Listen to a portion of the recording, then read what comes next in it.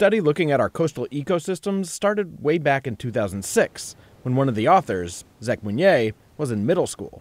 But when Meunier got to Oregon State in 2017, he knew that a 15 year long study would yield some interesting results.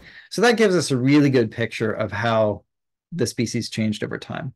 Meunier, then a PhD student, took over the research, which looked at how marine conditions were affecting ecosystems on the rocky shores of Northern California and Washington. And the study period, from 2006 to 2020, was eventful. There had been a mass die off of sea stars due to this outbreak of sea star wasting disease that occurred in 2014. And then right after that, we saw very warm water in our rocky habitat systems. The disappearance of sea stars had cascading effects. The adult sea stars are very important predators in this system. They're like the wolves of the intertidal.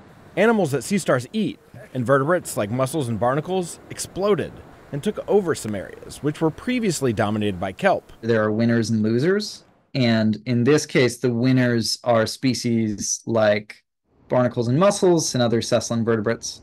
And the losers are the, the kelp and the sea star. Interestingly, Meunier found that even after some sea stars returned and ocean temps came back to normal, the kelp ecosystems didn't bounce back. And we found that in many of our study sites, there was no resistance and even lower recovery, uh, meaning low resiliency. And there are lessons to be taken from the study for those of us who live on land, too. There's evidence that both the marine heat wave and the sea star disease were made worse by climate change.